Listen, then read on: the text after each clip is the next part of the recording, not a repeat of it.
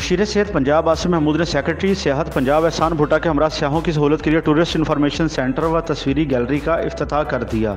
Ribbon काटने के बाद मकबरा जहांगीर में कायम करता तस्वीरी गैलरी और जारी कामों का जायजा लिया गया। इस मौके पर डायरेक्टर नईम इकबाल ने उनको जारी काम और तस्वीरी गैलरी पर तफसीली ब्रीफिंग दी। मकबरा जहांगीर में अफ्ताह व विज़िट के बाद मीडिया से गुफ्तु करते हुए मुशीर सियाहत पंजाब आसिम महमूद का कहना था कि मिनिस्टर व चीफ मिनिस्टर के विजन के एन मुताबिक महकमा सियाहत पंजाब तमाम हेरिटेज मकाम हैं। पूरी जामशानी से काम कर रहे हैं। और मकबरा नूरजहां को देखकर बहुत खुशी हुई। पीएचए ने यहाँ काम किया इसे देखकर बहुत खुशी हुई। खुशी है कि इस मकबरा को उन्होंने उसकी असल हालत के अंदर प्रिजर्व किया और ये इनकी खदमात इन सदियों पर याद रखी जाएँगी। और उसके साथ साथ जो हार्टिकल्चर का काम पी एच ए लाहौर की टीम ने किया वो भी काफ़ी का काबिल दीद है। मैं उनको भी अप्रिशिएट करता हूँ और इन जितनी हेरिटेज प्लेसेस हैं हम महकमा सियात पंजाब का प्राइम मिनिस्टर और चीफ मिनिस्टर के विजन के मुताबिक इन उसके ऊपर पूरी जाँफशानी के साथ हम काम कर रहे हैं। और पाकिस्तान में जो टूरिज़्म का ख्वाब प्राइम मिनिस्टर ऑफ़ पाकिस्तान देख रहे हैं इनशाला उसको शर्मिंदा मकबरा जहांगीर के मकबरा के बाद मकबरा नूरजहाँ का विज़िट किया और वहाँ जारी काम को चेक किया और मकबरा नूरजहाँ की तजीन और आइश के लिए काम करने वाले वर्कर्स की मेहनत को सराहते हुए अच्छी कारकर्दगी पर उनको नकद इनामत और सर्टिफिकेट देने का भी ऐलान किया।